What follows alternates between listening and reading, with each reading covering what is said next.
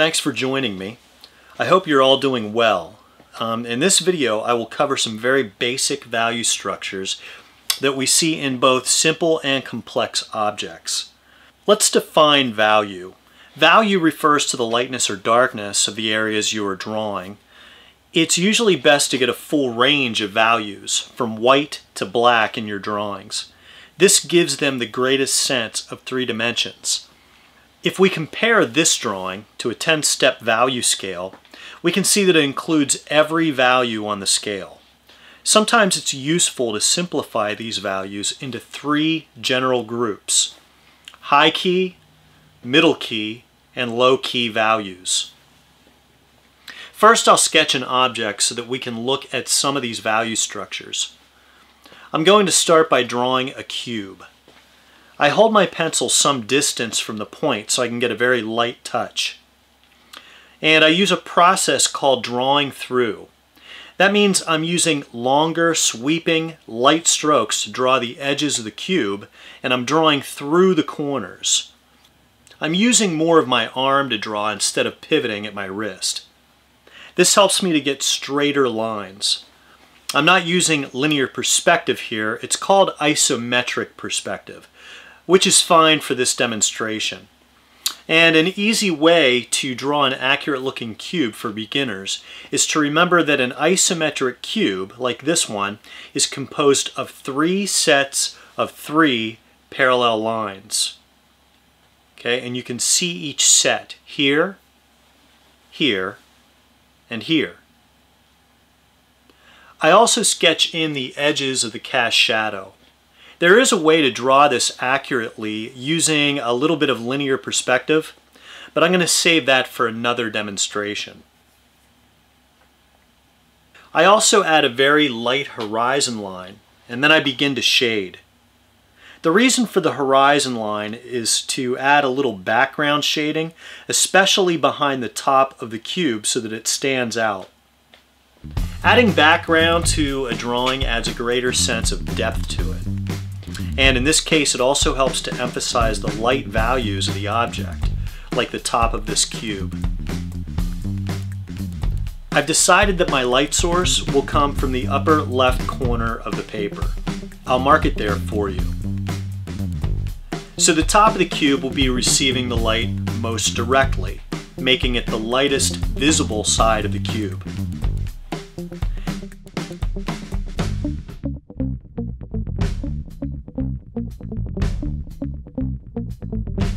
Is the left side of the cube. It's getting some light, but it's less direct than the top, so it will have some value added to it.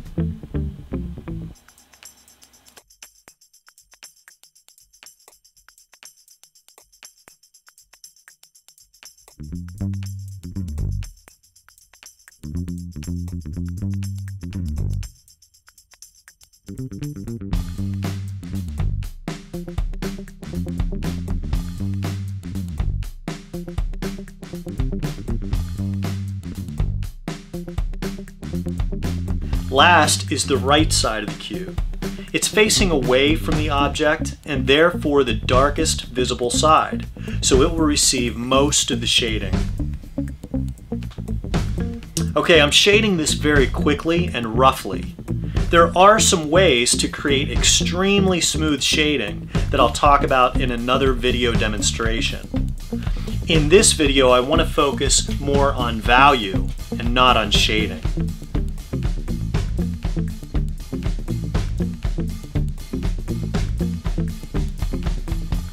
All right, so I'm going to finish this up by shading in the cast shadow.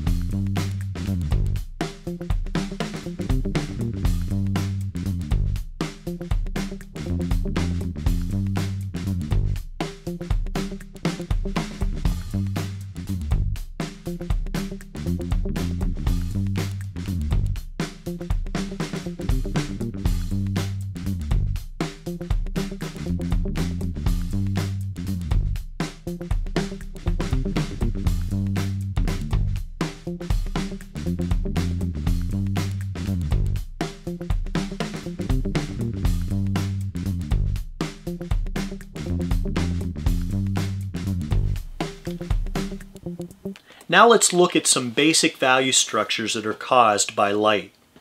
In this drawing of a cube, we can see areas of light and areas of shadow. Shadows on the actual object or form are called form shadows. Then we have the cast shadow. This is the shadow that is cast or thrown upon another surface. In this case, it's cast onto the tabletop the cube is sitting on, but it could be cast onto another object that's close by. Notice how the cast shadow tends to be darker and has more crisp edges closer to the object. And then it tends to become lighter and have softer edges as it moves away from the object. Now let's look at the form shadows on the cube. This object has angles or corners where different sides or planes come together. We see abrupt changes in value at these edges. These are called planar values. That's when each plane or side of a polyhedron or a three-dimensional form with flat sides has a general value assigned to it. We see three sides on this cube. This side that's being hit most directly by the light source is a high key value. This side, being hit less directly with our light, is a middle key value. And this side has very little light reaching it and is mostly a low key value. Now notice there is some variation in the sides, especially this darkest side. In fact, the cast shadow is darker than the object where they meet up. This is because there's some reflected light bouncing up into the bottom of this side of the cube. And we'll talk more about reflected light as we discuss rounded objects. Now the reason we are looking at a simple object like a cube is because understanding these basic values will help us to draw more complex flat-sided forms. Here, take a look at this old telephone. It has some rounded forms on it, but it also has many corners and flat sides of planar values. Understanding the basic value structure of a cube can help us shade more complex things like this object here. Okay, so let's talk about rounded objects. First I need to draw a sphere. Again, I hold back pretty far in the pencil and move my arm in a circular motion with my shoulder. Notice I go over it lightly several times until I'm satisfied with the outline. I use a similar method for sketching the elliptical cast shadow. I add a horizon line to this drawing as well. Now I change the grip on my pencil to a more traditional writing style grip. And I draw more from my wrist as I emphasize the correct shape of the sphere.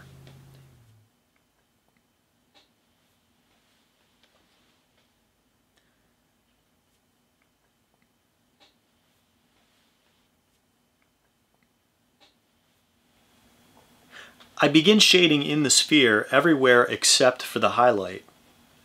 In this drawing, I place my light source in the upper left corner again.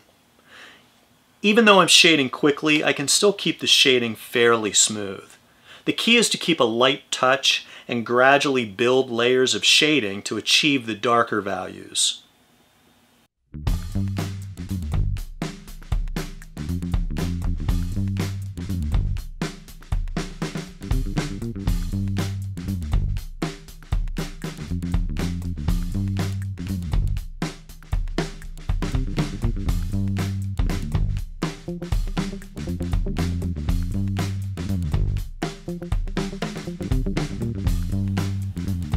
Look at how the background helps to make the light area of the sphere pop out.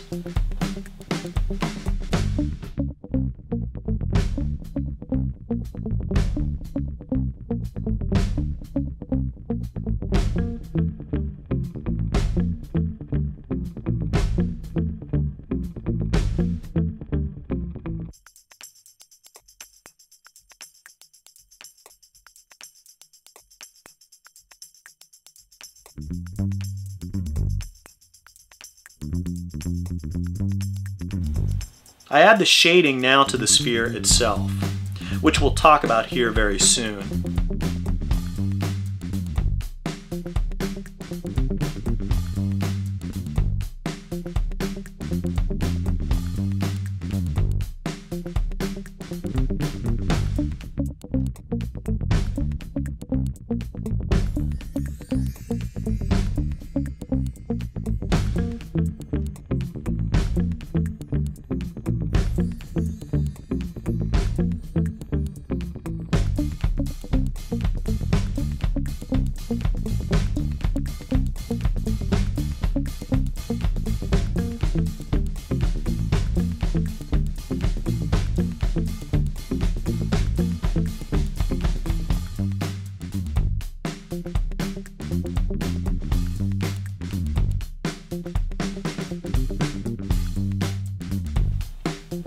Last, I add the cast shadow to make it appear even more three-dimensional.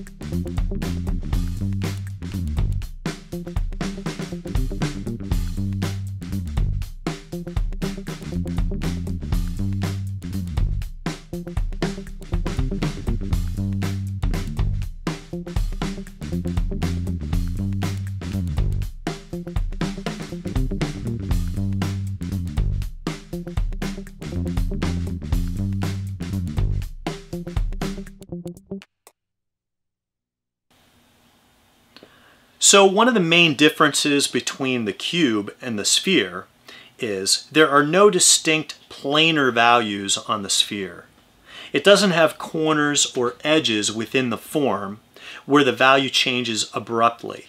All the value changes are soft or gradual. This soft or gradual value change is called gradation, and it's one important key for making surfaces look rounded.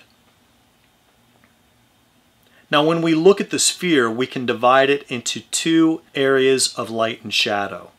Within the light area, we have the highlight. This is the lightest part of the form and is actually a reflection of the light source. Within the shadow side, we have two distinct areas of value. The core shadow is the darkest area within the form shadow. On this sphere, we see it toward the center and upper right edge. This core shadow occurs because of something called reflected light. Notice how the bottom edge of the sphere appears lighter than the core shadow. This is because some of the light from our light source travels past the edge of the form, then bounces off the table and back into the bottom of the sphere, creating a glowing effect. Notice how the cast shadow is darker than the sphere near the point where they meet. And now if we look very closely at that point, you may notice that both surfaces get so dark and out of focus, it's hard to distinguish between the sphere and the table. This area is called the occlusion shadow. One other detail I'll point out is at the very edge of the cast shadow. See how there is a hazy blurred section of lighter shading around the outer edge of the cast shadow? This is called the penumbra. Okay, so why is all of this important? Well, it's important because the value structures on a simple form, like a sphere, are found on more complex rounded forms, like this pepper. Can you identify any highlight on the pepper? How about the core shadow? Can you see any reflected light? And how about the cast shadow? So I hope you learned something from this video that will help you make your drawings more natural and lifelike. When it comes to value and shading, knowing what to look for can help us to see it much more easily. Thanks for watching. Have a great day, and I hope you'll join me again for more demonstrations.